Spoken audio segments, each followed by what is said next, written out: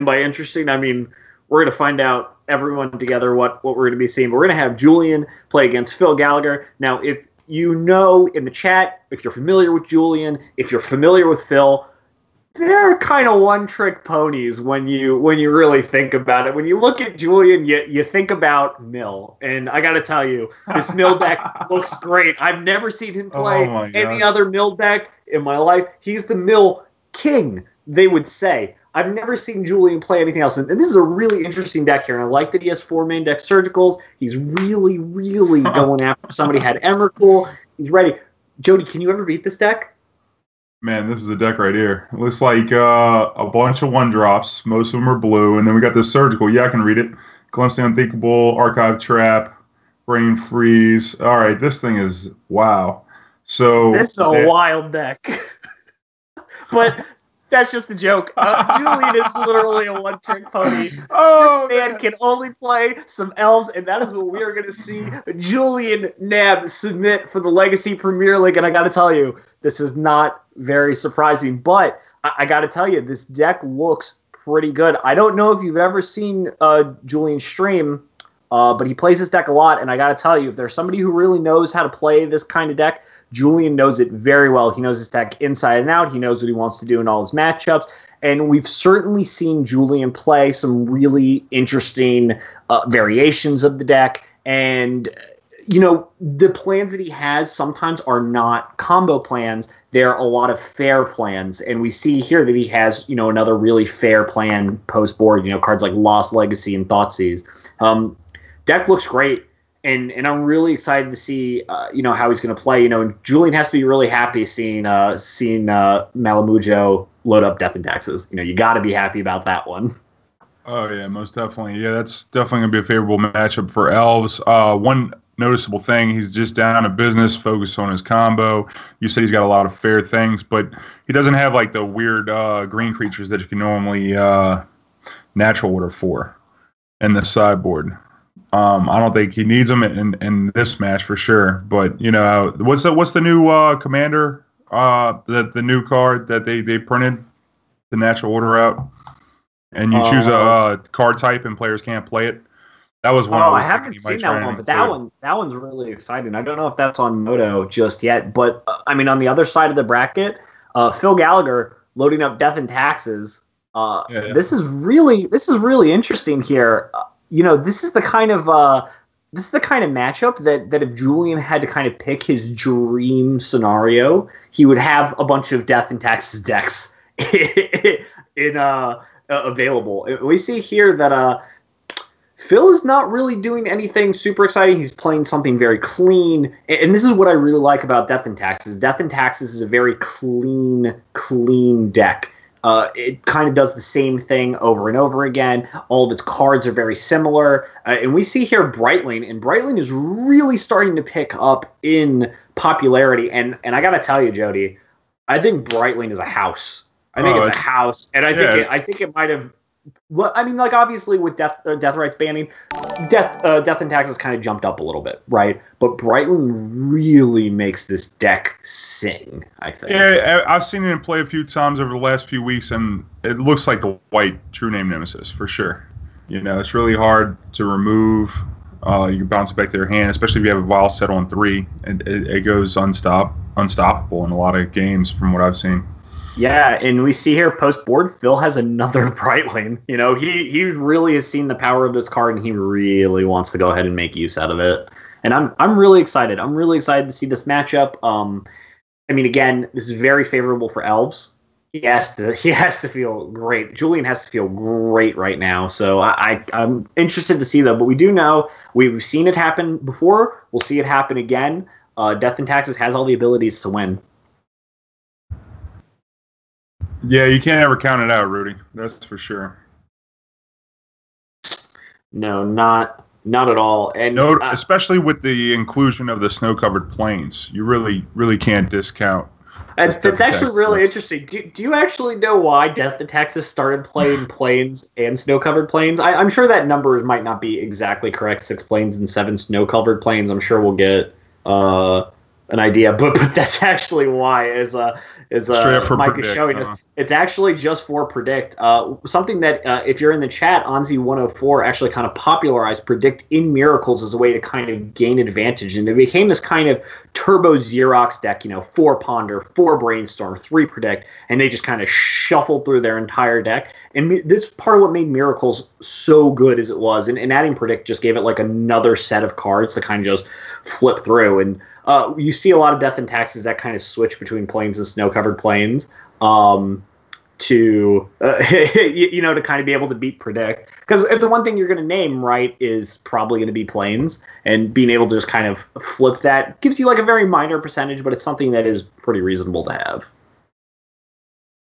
Yeah it's definitely worth noting. Uh, i've noticed that playing some lands list of mine you spread out the uh, fetch lands to go one one and one. Um, it's just something you should do you know if you have if given the opportunity yeah, and uh, we see here. I, I assume we're going to start in in just a moment. Here, we're going to see opening hands here, and I got to tell you, both of these hands look pretty good for both players. This is almost everything you want out of out of both decks, right? Yeah, the only thing you're really missing from Death and Taxes is, is probably Aether Vial, Aether you know, Vial, out of this sure. hand. Yeah. Yeah, and if we look at the elves hand, we have the Cradle, we have the Llanowar elves, the Ranger, the um, Wirewood symbiote combination with the Visionary should be good to set up to get more card advantage throughout the game. So uh, looks like Death of Taxes leads off on the with the snow covered plains. And elves, it looks like Julian picks up a, a glimpse. Definitely oh, a good draw. Glimpse. Glimpse has to be incredible for here. Uh, we do have Llanowar Elves, Quirion Ranger, and Wirewood Symbiote, so it's quite a few ways uh, to be able to kind of bounce and, and, replay a lot of creatures, really getting a lot of value out of Glimpse. And I think this is also one of the matchups where uh, just being a value Glimpse of Nature is probably good enough. Now, why would you? Uh, can you explain why Julian would lead with the Quirion Ranger over the Llanowar Elves in this spot? Um, it looks here like uh, it's possible that Guy. Oh, see, Gaea's Cradle is just such a powerful card that it might be that uh, you know he's really wanting to you know be able to leverage the forest or be able to you know fetch for a Dryad Arbor during the end step and be able to protect it from a wasteland or a plow. Um, okay. I'm not really super familiar with with one over the other. Um, but I, would personally lead off with Llanowar Elves. But if there's someone who knows what they're doing with this deck, it's probably Julian. So I, oh yeah, oh yeah. No, I just Definitely, definitely. Uh, I haven't played too much elves, so I was just interested. Okay, so Drew Swords, different art whenever they cast it. It's interesting how it works. yeah, and so, is, so yeah, that that's kind of interesting. this is definitely not a good draw for Philip catching the Batterskull that he would presumably uh, otherwise want to go get with the second Stoneforge. And we're going to see here, we're probably going to see an Umezawa's Jitte here off of the Stoneforge Mystics. Certainly one of the most powerful cards against a slew of, of X1s here. And uh, I, I can't imagine that, you know, Phil's too unexcited about having Mirran Crusader in his hand as well to potentially pair with it. Okay, so it looks like this is going to be a fetch for the Dry Arbor play, like you were talking about, to power up that cradle yeah, this is going to be great, and uh, we're we're probably going to see here glimpse of nature just to draw a, a couple cards. Um, again, as I said, this is a this is a matchup where you honestly don't mind just drawing, you know, three or four cards. It's probably going to be more than good enough to to really bury death and taxes.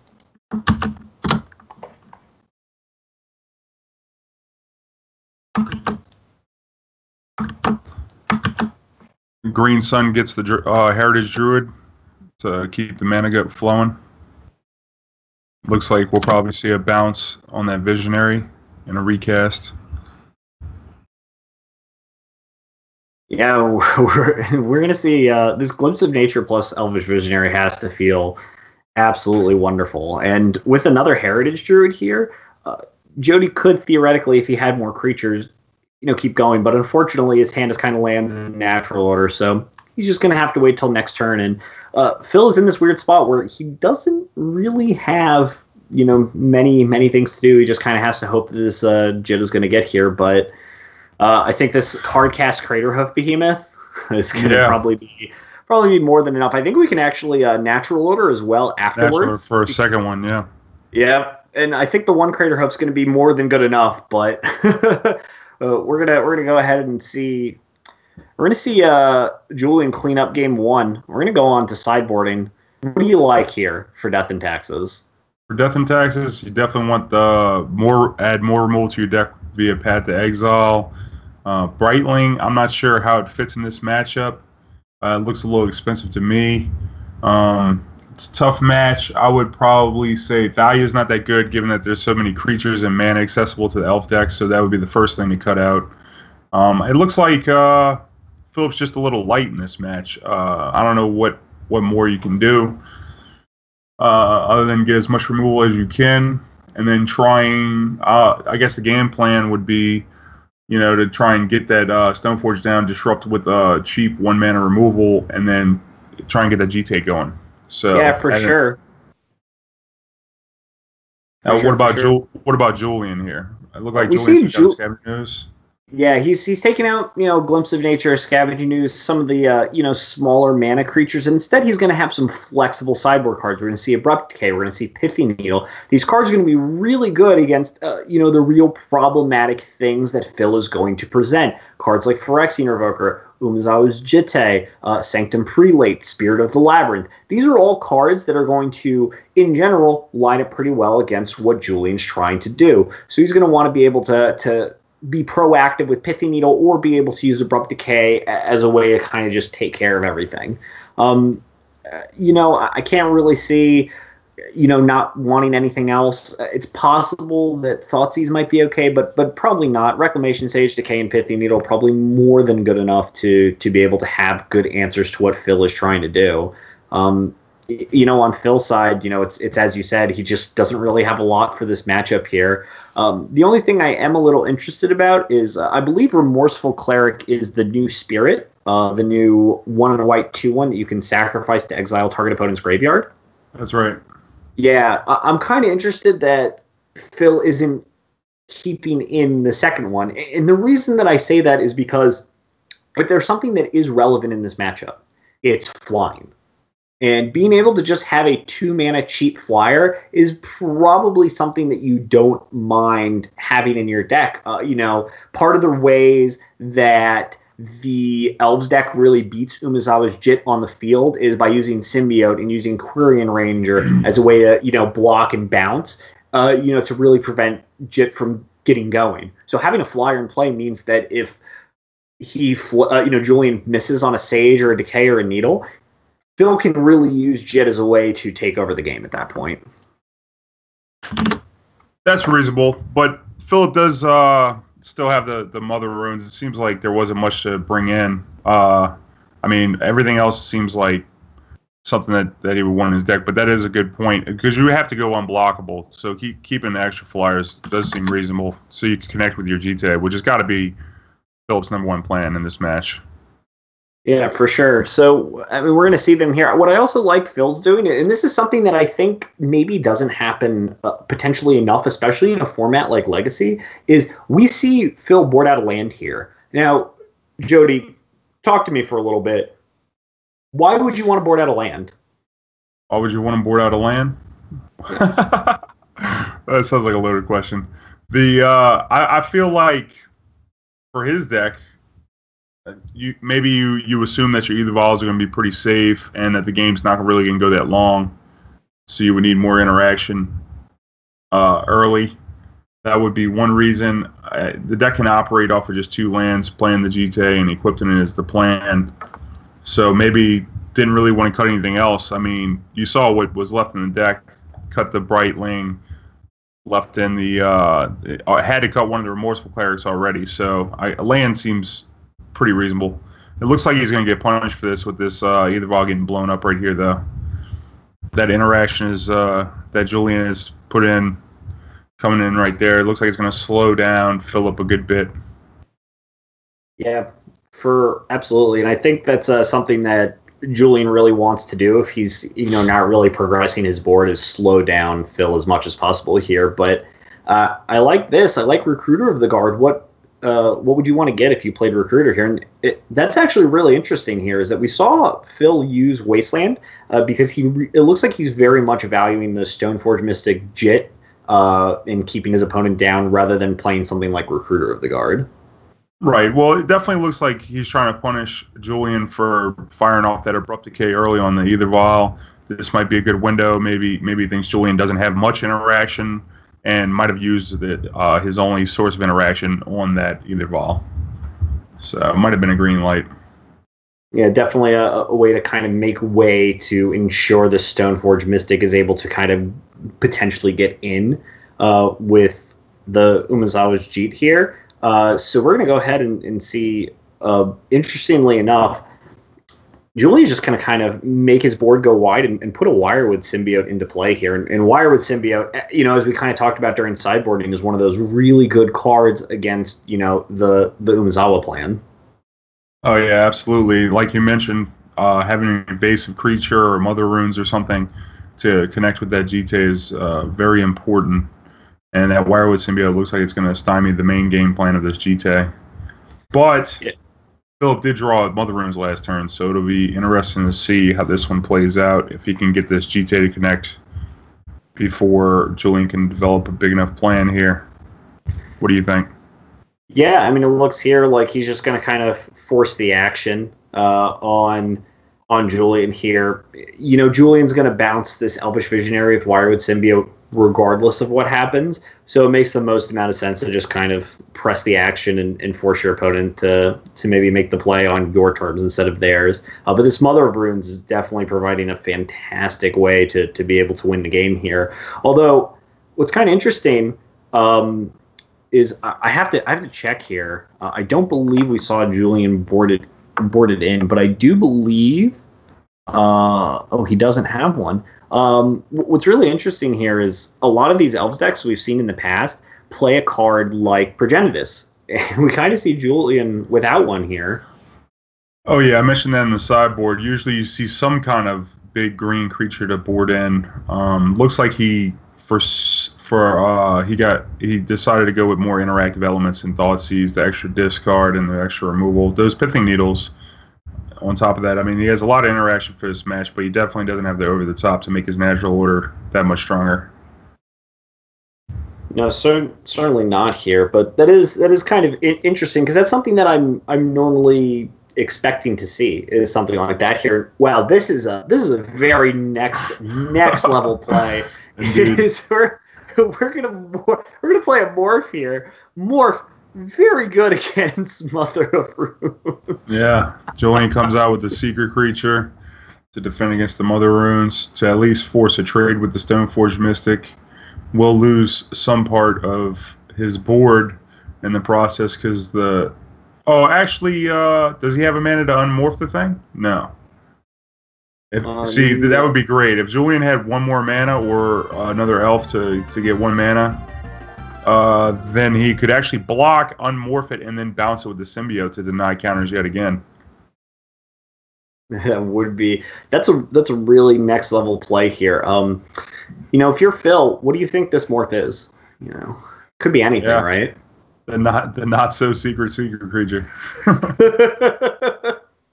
you know, that's definitely one of the one of those things that you see somebody play and you're like, where did you get a morph? so we will see the Jitte get counters here. Uh, we got to imagine that he's going to start going after this Wirewood symbiote. I, I, think Phil's plan here is just kind of keep the board as clean as possible and just hope your opponent doesn't have Progenitus in their deck. Well, it's interesting here because this natural order at some point is getting close to being lethal with a Craterhoof. I mean, we, we do have four creatures in play. If we can get, uh, if Julian gets a fetch land for a Dryad Arbor or something like that, they could p- potentially put a big clock on Philip that could just be insurmountable for even a Jitte. Like a, a 5 5 is a big body against a creature with no uh, uh, Jitte counters. Absolutely.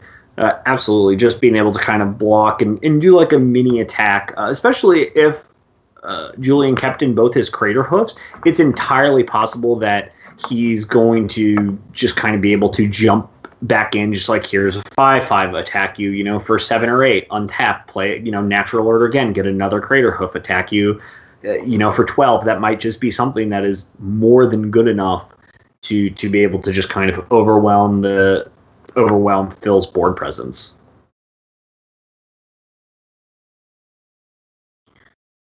I think I think here we actually might see that. We actually might see this natural order to go and get either a reclamation sage for for the equipment, or we might see a Craterhoof behemoth here, and uh, we'll we'll see in a moment what Julian's plan is here. But I, I honestly wouldn't fault him if he went either way, right? No, it could go either way right here. So what is this? Oh, is this my, lethal my here? apologies. That's actually uh, it's actually 19 uh, right here, I believe. Or actually, is it 20? No, no, no. It's definitely more than It's 20. 24. It's 23 Yeah, after the so trample. Yeah. So we're gonna see Julian win. we're Wow. we're so focused on trying to figure out, oh, what what can Phil do to get out of this? What is Julian gonna do to beat this equipment? And Julian just goes ahead, turns all his creatures sideways, and he's gonna take this match 2-0 over uh, over Phil Gallagher here. And I, I gotta tell you, I'm not really too surprised at this outcome. No, that was a very masterful play on the. Uh, like you said, it's hard to see the morph on the Wirewood. Uh, I mean, the morph out there on the Birchler Rangers to be able to keep an extra creature in play to line up that play, uh, forcing the the Jitte and the Mother Runes to to all, get used on on uh, Philip's turn. It was a good play by Julian for sure. You could definitely tell that he's a master of the deck. Yeah, for sure, and and obviously we, we kind of missed missed the very obvious play, but uh, I I think that's mostly fine. But that that was kind of exciting. So Jody, uh, looks like you know who you're going to be playing against. You're going to be playing against Julian.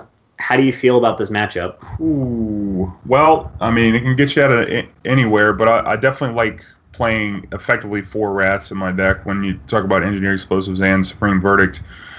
Uh, plus all the swords, I have a lot of removal, and the standstills are easy to get down if you clear the board. Um, I, I, I like the matchup. I've only played it a few times. You don't see many elves matchups right now, so uh, I like where where the match is for sure. Interesting. Well, good luck to you, Jody. Uh, we're going to see uh, next. I, I think we're actually going to see you play against Julian, and then after that, we're going to see Phil play against Malamujo in a Death and Taxes mirror. And that will actually be definitely uh very actually kind of interesting. It might be it might be a little slow, might be a little slow, but uh, it'll definitely be it'll definitely be really interesting. But uh, I, I think we're gonna go ahead and take a break, move on to commercials, uh, and then we're gonna come back in a little bit with Jody versus Julian. Oh yeah. We'll see y'all back in a bit. Yep. Good luck, Jody.